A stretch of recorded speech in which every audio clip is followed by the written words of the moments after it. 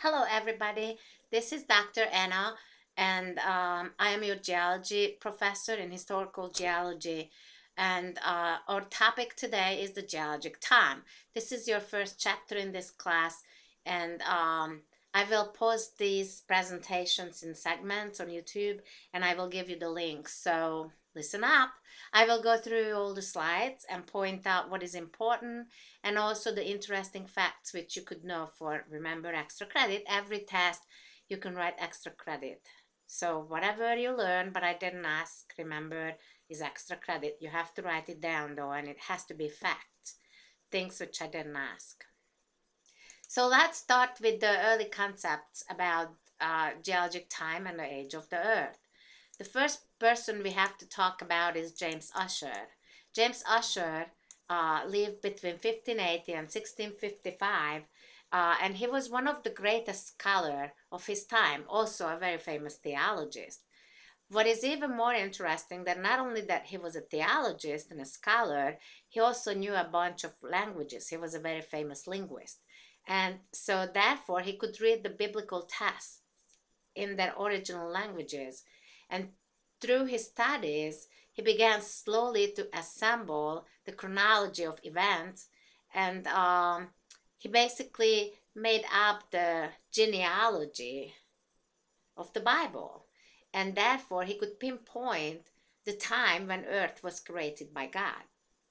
And the time, or the exact time when he said earth was created was October the 23rd. It was a Sunday afternoon, uh, 4004 BC. He wrote this in the Annals of the World, 1658. He published it. Now, as he published this book and he wrote notes in, in the in the side of his Bible, these dates uh, went into the next print of the Bible. So people actually took it as as for sure. They didn't even question uh, what happened when and how old is the earth. They took it as it was uh, 4000, uh, it was created 4004 BC. So remember this date, it's important. Uh, he also calculated a couple of other important events uh, in the Bible. Um, the one which is to me very interesting is that he he calculated that Adam and Eve has been uh, driven from the paradise on Monday, November the 10th, 4004 BC. So if you think about it and you calculate it, it seems like that they only spent 14 days in paradise, which is really not that much. So Eve ate the apple really, really quickly. And the ark, you know, after the big flood, the, the ark have touched down on Mount Ararat, which is like a very high mountain in Turkey, uh, on May 5th, 1491 BC, on a Wednesday um, which means it's 4004 minus 4 so the earth was about 2600 um, years since creation when the big flood came around. Of course these things went into uh, oh this here is just uh, this slide here just shows you uh, a, a part of his calculation.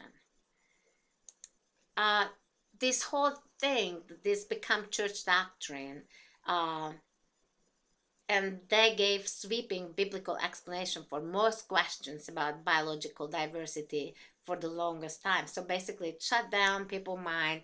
Uh, they were told that every answer is in the Bibles. Uh, I mean, if they have any question, the answers are always in the Bible. But the two main thing was that the creation, and that was the idea uh, that all creatures have been created independently of one another by God. And uh, God organized the living things into a hierarchy with with uh, humans being on top of the of, the hierarchy, just beneath God. Uh, this is very dangerous if you think about it, because this this empower us that we are better than anything else, and we can make decisions over other thing just because we are better than anybody else.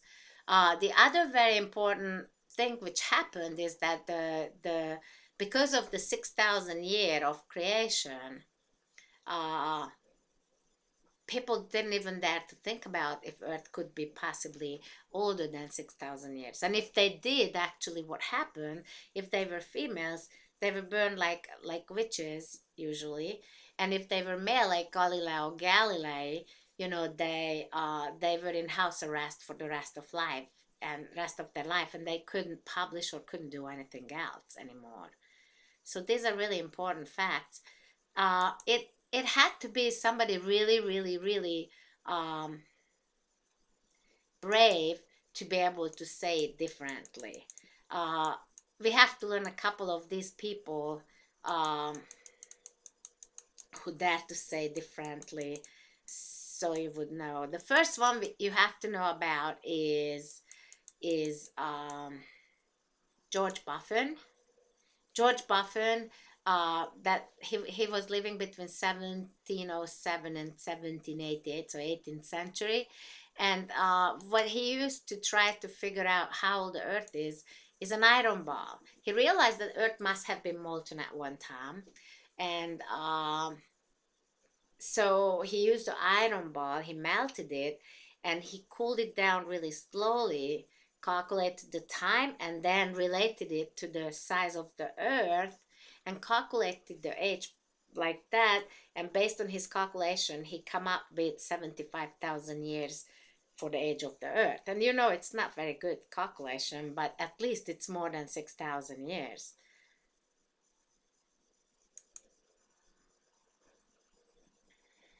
The next one you will have to know about is John Joly. John Joly lived much later. Uh, he, he lived between 1857 to 1933, and he calculated the age of the Earth um, using the salt content in the ocean. He assumed that ocean at the beginning was fresh water and became salty by the erosion of the rocks. Using the, the you know, if you just sit along the river and you look at how fast the rocks erosion happening, you know that it goes really, really slow. So he calculated the erosion rate and based on his calculation of erosion rate, he also calculated how long did it take for the salt to get into the ocean. Basically, really, we're talking about sodium and chloride ions uh, when there was erosion. And he come up with 90 million years old. His calculation is much longer than than the 6,000 or even the, the other calculations. However, it's still very young because he didn't think of the recycling of the salt. You know, there are a lot of salt mine on Earth, which means that the salt precipitated out from the ocean. So new salt had to go in to replace the, the salt which, which precipitated. So therefore, because of the recycling, there was much more time involved than just one time the, the salt content forms in the ocean. The next person we have to talk about is Nicola Steno. And uh, Nicola Steno was very, very important in terms of historical geology. Uh, what he did actually, he lived between 1638 and 1686. He worked on formations of rock layers and and um, and also he found some fossils. Uh, and the fossils were very these the observation he made were very very crucial to the development of modern geology. He actually um, stated uh, some geologic principles which is still using and I'm just telling you that the geologic principle we have eight of them and as we go through here the material we're going to mention them all uh, and I will ask that on the test um, the first test and the midterm so you will really have to know them so the principles he come up with are still used as I said and I have a slide with Steno's principles and this is the superposition, the original horizontality, and the lateral continuity. And I will go through the principles at one place, one by one, so just hold on to it until then. The next person we have to talk about is George Cuvier. And George Cuvier uh, lived between 1769 and 1832. As I said, you do not have to know these dates, so don't worry about it. Uh, he is the one who founded vertebrate paleontology as a scientific discipline.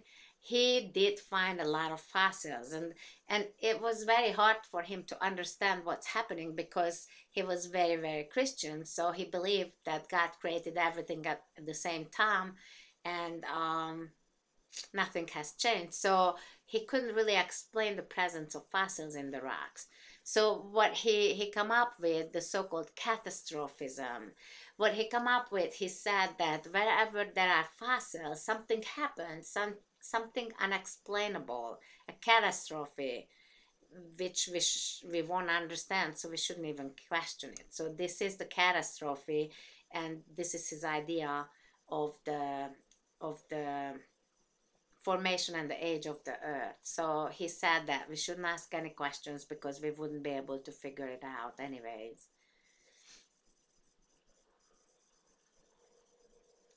So he's the one who established the idea of, of uh, catastrophism, which means that these revolutions or, or the or the presence of the fossils are unexplainable.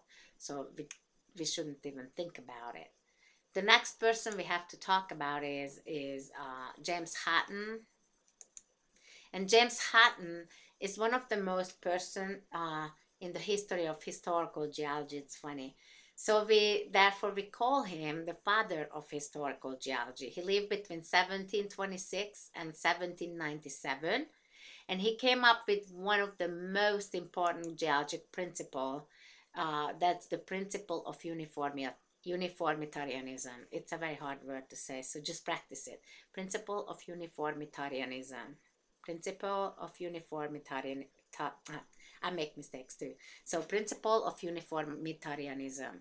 The first one he come up with is the cross-cutting relationship. The other one, the principle of inclusions. And again, the principle of uniformitarianism. It's very simple. I, I will tell you in a minute what it is. I actually believe that it's the next slide because this is so important that I actually take it out. Uh, so the principle of uh, Uniformitarianism is talking about the present being the key for the past. So the present is the key for the past. And uh, if, if you think about your own history, your own history, uh, and you think about your uh, great great grandmother you didn't know, what do you think? What did she do first thing in the morning? Your great great great grandmother. Yeah, she was sleeping. She woke up. The first thing she did, she went to pee. Everybody does, like just about. After that, you wash your teeth. I don't know if they had uh, toothbrush and toothpaste, but most likely they did something with their teeth. And then, uh, of course, she dressed, and then she had breakfast, and so on. So how do we know it? We know it because because we do it too they had kids the same way we do. They might have had sex differently, but they definitely did it because that's why we are here. So the the um, uniformitarianism is basically telling us that the only way we can know about the past if we look at the the present. Whatever happening today has happened uh, before and will happen again. So the present really explains the past and more or less the future people will do the exact same thing as we do. And so therefore the, the rocks too. Like if you see ripple marks, you know why is ripple mark there? Why is it there? Because there is some kind of current, either water or, or wind, but we know that there had to be a current. And um, if you see uh, ripples forming today, that's just exactly the way they form. So therefore we know that that's how they formed in the past. So this this is a revelation in in terms of geology. He basically come up with the way uh, every question can be answered, and that is the beauty of science. You know, science is very logical, and if you just know uh, the basic principles, you can answer any question you might have. So it's very very important that you know uh, the uniformitarianism. And now we're going to go through the geologic time. And I have already mentioned to you that Earth, in, if not now, physical geology, that Earth is 4.5, 4.6 billion years old. Um, and of course, none of us have any idea what does that mean. You know, we also call this the deep time. What does it mean? How much is a million? I mean, we live about 80 years if we are lucky or 90. Today people live to be 90. Um, so we don't really understand 4.6 billion. I have had a very good example when I started in high school. I went to a special high school in uh, a geology high school. Um, but I guess I have to stop here because 15 minutes is what the what the YouTube takes. So here we are. I will continue it in the next segment.